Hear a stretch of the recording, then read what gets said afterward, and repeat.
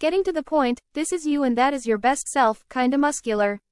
But you don't need to hit the gym necessarily to be your best version, like almost everyone tells you online. You are so much more than just your physical appearance, like your hobbies and the music you listen to. But how can you use these tools to actually live life instead of spending it? Grab a pen and paper. Yes, take a chair and yourself and sit down. Bonus points if you keep your phone 6 feet away. Actually reflect on your day-to-day activities and visualize your best future self. Where do you see yourself in 5 years? Write whatever that comes to your mind. What does your truest bestest self look like?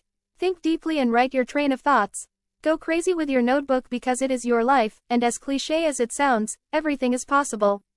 People don't realize how powerful writing is. I don't care if you write like a third grader with a C in English. Write in whatever language you're comfortable in. Build your life like you carefully curate your Minecraft worlds. Consider your life a Minecraft world. What would you do to better your world? Definitely not doom scroll. Instead of doom scrolling and trapping yourself in a box, do stuff that excites you. And how you do this is by being a baby. Take baby steps toward what you want to achieve. Keep your goals small and specific. Like running daily or eating healthy or reading 10 pages every day. If you start now, your future self with a not broken back will definitely thank you. Stop being lazy and get your shit done my friends.